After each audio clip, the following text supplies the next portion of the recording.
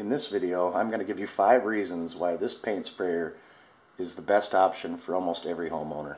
Alright, first of all I want to welcome you all to the channel. If you're new here, hit the subscribe button and ring the bell. If you're a subscriber and you've seen my videos before, welcome back for another video. Alright, first of all, let me start off by saying this isn't a brand new machine. This isn't an unboxing. This isn't uh, a review uh, of something that I've never used before. It's not a sales pitch. I'm not being paid by Graco or anything like that. There's no sponsorship.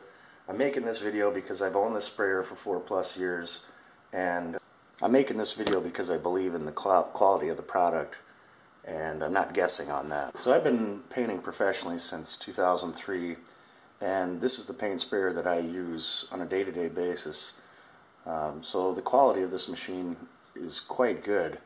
Um, they're rated for 125 gallons a year, but I get way more out of it than that. So this is more of a DIY project type machine. It's not commercial. If you are a pro and you're looking for a, a commercial sprayer, that's great, but that's not what this video is about. This is about the homeowner. So reason number one is its capability.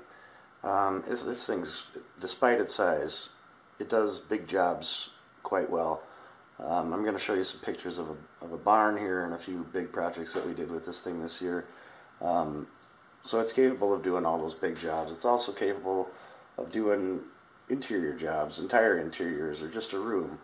Um, it's it's it's just the right size for all that stuff. So when you're doing those big projects, you can you can draw from a five gallon bucket. It'll suck paint out of a five gallon bucket it's going to be good on those projects like for furniture or cabinets and stuff like that. You can change out tips, get a finer finish. It's good for that stuff. It's capable of doing that. It's uh, it's also good for staining and finishing. And again, it's all about the tip that would you you would use for that. Uh, the gun that comes with it is an SG2. Uh, if you were to buy that gun just outright, it would be around a hundred bucks. But that comes with it. Comes with a 515 tip the tips are, you know, 30 bucks a piece usually, uh, depending on where you buy them. You can find them online for a lot cheaper than that. But um, the tips are important. Change them out for different uh, different finishes and different uh, spray amounts or spray volumes. And that led us right into reason number two that you can you can spray pretty much anything with this thing. It's uh, I use it a lot with latex. It's good for acrylic. you can spray oil with it. You can spray stains, finish, all that all that stuff. Uh, you can you can use this for pretty much any product you want to spray. Spraying with any airless sprayer, uh, if you've never done it, it does take a little practice. It's not that tough to do.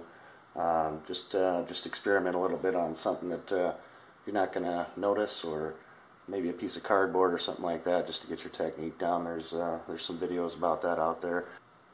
And if you need instructions, there's a video up here um, that explains the whole procedure of setting up your paint sprayer. Check that out if you need that information.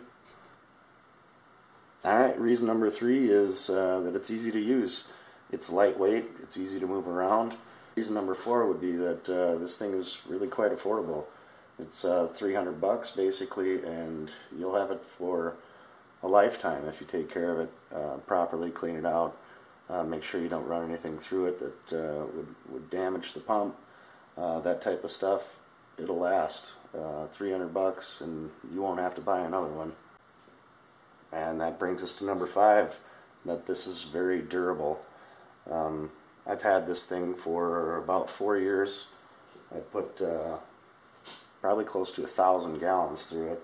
It's only rated for 125 gallons a year, but I'm guaranteeing you, you're going to make it a lot farther than that if you take care of it.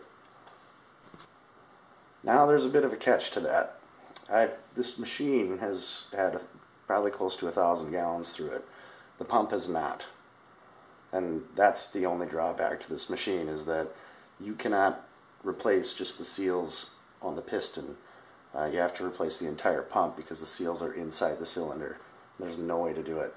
But luckily for you guys, I have a, a video up here in this card about replacing the pump because I've had to do it a couple times. They cost around uh, what 120 bucks, something like that.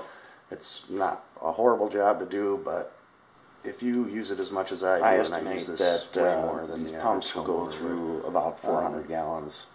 So if you if you plan on uh, putting more than 400 gallons through this machine, which is a lot, um, then you may want to plan on, on replacing the pump. But you know, it's really not that big a deal. So in the end, the 300 bucks that you're going to spend on this thing is well worth it. Uh, and if you need information or you have questions, I have an entire playlist on this machine. Uh, check back with the channel. Don't forget to hit the subscribe button. We'll catch you in the next one.